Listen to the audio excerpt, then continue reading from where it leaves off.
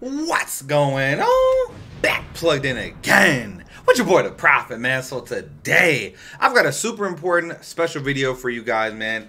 This is for sure one of the most important banners of the year, okay? Um, a lot of people were a little bit confused about the titling of my last video. Man, listen, bro, I no clickbait on this channel. You hear me? Um, not that people said it was clickbait, but um, it was just that I said the the three best characters or the three strongest characters return. Listen to what I'm saying, bro.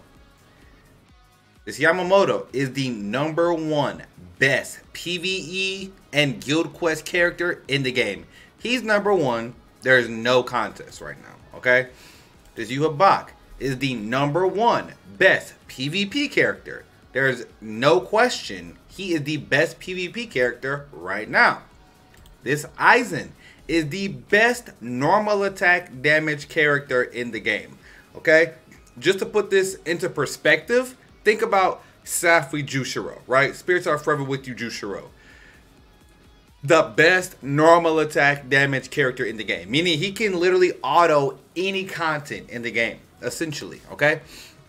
So, yes, these are the three respective best characters in the game at what they do. Yamamoto in PvE and Guild Quest, Yhwach in PvP, and Aizen for autoing, okay? So let's just go over the stats and skills. Let's talk about this banner. This banner is actually going to drop very, very soon, but I wanted to get this video out to let you guys know. By the time you're watching it, the banner will probably be up, okay? So make sure you guys that click this video, you know what I'm saying, as soon as it comes up so that you can get this information and kind of just think about everything, all the pros and cons, right? So this is going to be just talking about should you summon or essentially before you summon because I do feel that you should summon for these characters, okay? Generally, I don't just give like a straight out answer like that, but these are the best characters in the game. If you don't have Yamamoto, you definitely need to summon. Now, can you live without Aizen? Can you live without Yhwach? Absolutely. You absolutely can. Um, you can I mean you can live without all these characters, but at the end of the day, these are the best characters in the game at what they respectively do. Okay, so now the thing that might turn you off is the other filler, right? Most people already have a couple of these characters, and if you don't have any of these, you definitely don't have any of these. You know what I'm saying? So in that case, it's definitely should you summon. Um, but in the case of let's say like let's say you have Aizen and it, like I said, if you don't have Yamamoto, you should summon. Okay? These characters are never ever ever getting another solo banner. So the only chance that you're gonna have to obtain them is pretty much a banner like this where there are nine characters in the banner, right? And at least you have three perfectly great, amazing characters that are in here. So, you know, one out of three times you're getting a five star, it's going to be something very, very desirable. Now, Senjumaru, Kirio, and Kirinji, they really have no use. Like, there's really nothing that these characters do that's like standoutish, right? Um, this Soifon, she is one of the best boosters for melee. Um, Arrancar Weekend Guild Quest, even still to this day this uh, Yamamoto, once he gets resurrected, could actually see a lot of use. He's going to be a pretty solid character, but we don't know even how long he's going to get resurrected. And then this uh, Aizen, if he gets resurrected too, he would be a lot better, but he's still going to be a subpar unit. You know what I'm saying? So um, let's just go ahead. All right. So as far as the percentages go, so there's 25 steps on this banner, meaning that there's five guaranteed steps. Am I recommending you go 25 steps? Absolutely not. Okay.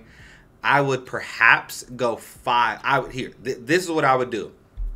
I would either go. So so the first step is free, right? So no matter what, everybody's pretty much going to be doing at least one summon on this banner. Okay. So personally, what I would do is I would do the first step and the second step. Okay. I already know this. I'm going to be doing the first and second step guaranteed. All right. Now, what I would do, this is how I weigh what I should summon like on a banner, right? So the first and second step are discounted, okay? So if you pull a character, if you pull a new character on the first step, you're basically getting every single orb you put in that banner back, right? Plus the new character. Now at the second step, it's still discounted, right? Um, so I would never stop at step three or four unless you just got the character you want and you're out. You feel me? But even in that case, I'll probably still go to step five. Okay. So what I recommend is either go to do step one and two.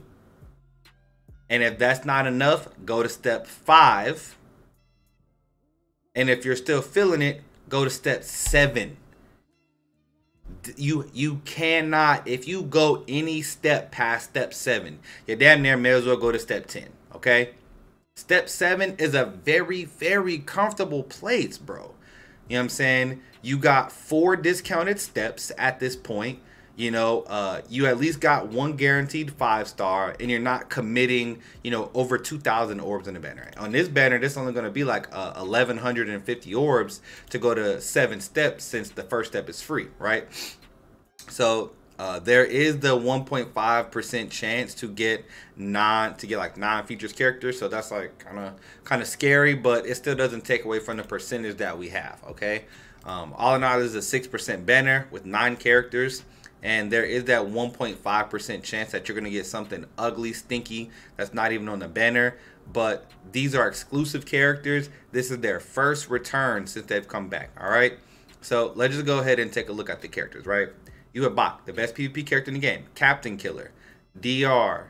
Cannot be weakened. Has Poise and Sprinter. Flurry plus 2. Debilitator. Berserker. Enhancer with Booster. Okay. He has Booster. The best boost possible in the game. Okay. Ignore Brave Battle Invincibility. Prevent Last Ditch have stamina increase, damage taken 50%. That's broken, okay? Um, Brave Battle only increase normal attack when enemy or ally is KO'd. What? Why is it enemy or ally? That's kind of weird. Weird uh, text there. But basically, when your allies perish, he's going to get a 20% uh, normal attack damage increase. That makes him the best PvP character in the game right now. Okay. This Yamamoto, Quincy Killer, Hollow Killer. All right. Now, a lot of people massively struggle with Quincy Week in Guild Quest. Um, Hollow Week, they have a lot of nukers. Okay. Hollow Week has a lot of nukers. All right.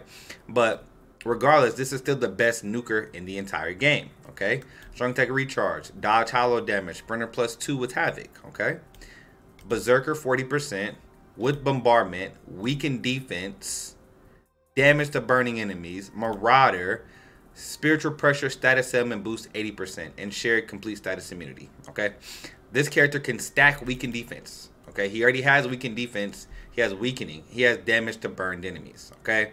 So his soul bomb is going to be hidden for weakened defense. If you give him T15 or T20 weakened defense, that's essentially double weakened defense.